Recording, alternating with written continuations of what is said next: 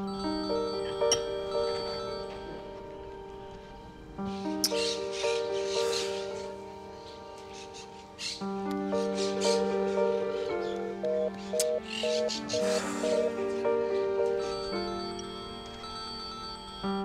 לא ברור בזה שאני מסננת אותך?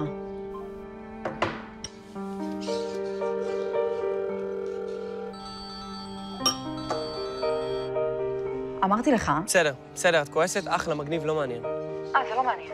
לא, כי יש פה משהו יותר דחוף. מה יותר דחוף מזה שאתה... אני קקה, אני לא בסדר, אני מעצבן, הבנתי. אני אתנצל אחר כך, אבל אנחנו צריכים לעשות משהו בקשר לקליפ. סבבה, זה לא יקרה. כל הלילה ערכתי את הקליפ והעליתי אותו, אבל בקושי יש לנו צפיות.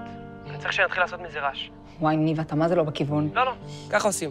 תעלי על זה פוסט ותבקשי מהחברות שלך שישתפו את הלינק. ניב, אני לא משתפת איתך פעולה, אתה לא מבין? מצידי שאף אחד לא יראה את הקליפ הזה. יותר טוב אפילו. אוקיי, הבנתי אותך. את כועסת. אבל תני לי להסביר למה לא נשקתי אותך. אתה באמת חושב שאכפת לי מהנשיקה? אתה מה זה חי בסרט. אני חי בסרט. תראי איך את מגיבה לזה. ואם את נותנת לי להסביר, היית מבינה ש... בשביל מה באת אתמול? בשביל מה נכנסת? על מה את מדברת? אתמול, בצילומים, בשביל מה נכנסת אליי הביתה כשהיה את הריסוס? אה, את מתכוונת ששיקרת, שיש ריסוס. אתה לא מבין שבגלל זה אין יותר סיכוי שאתה ואני נוכל... אתה ואני מה?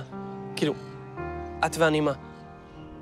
אל תתקשר אליי, אל תבוא לפה יותר, ותעזוב אותי עם כל הקטע הזה של השיר ועם הקליפ הזה שלך, אתה מבין? תעופי על עצמך עוד קצת, מי בכלל רוצה להתקשר ולבוא אלייך? תמוז? הלו,